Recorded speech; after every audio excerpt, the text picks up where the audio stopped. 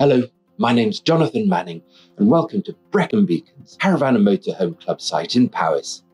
Today's ride must be just about the easiest in the Brecon Beacons. It follows the Brecon and Monmouth Canal for a good part, so it's flat along the towpath and teeming with wildlife.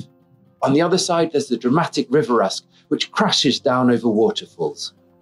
At about three miles, there's a pub at Pencelli, which is a lovely place to stop. It's also an opportunity if you want simply to retrace your steps back to the campsite. Alternatively, the route I've planned heads back along roads all the way back to Brecon. It's a lovely ride, easy going, and very quiet. So, with that said, I reckon it's time to buckle up and go. Enjoy your ride